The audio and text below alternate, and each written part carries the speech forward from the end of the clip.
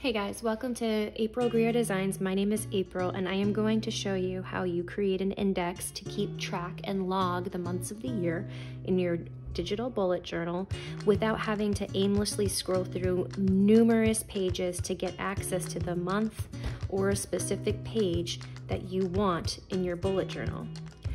So the first thing I'm going to show you are is my personal index and how I have gone ahead and kept track of this year so far, and it's really working for me.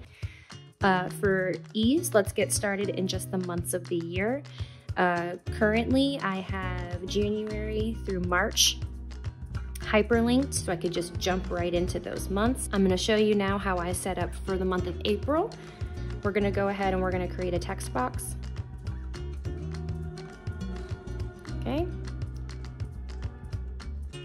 And I have already created a cover page for the month. It's very simple how, how to do this process, how to create an index.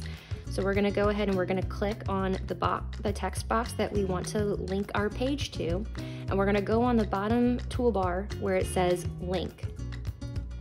You're gonna swipe down until you pick the page that you want it to be directed to or you have access to creating a new page. For this time, I'm going to click the cover page that I just made for the month of April, and it says link is added. So let's make sure that it did it correctly. You click on the month of April. Now it's hyperlinked, it's in blue and underlined, and you'll click go to link. We'll go ahead and we'll do another version of this.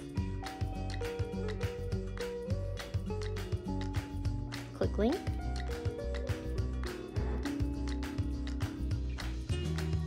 And now I will click on new page.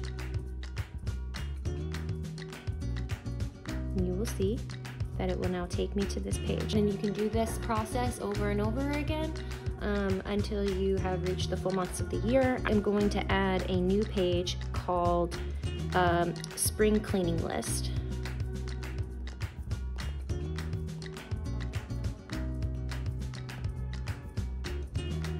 So I can keep track what I need to do, and I'm gonna link it to a page that I have already made, which is this one here. Let's go ahead and see if this works, and boom. Very simple, very straightforward. I hope that this helps, and thanks for watching.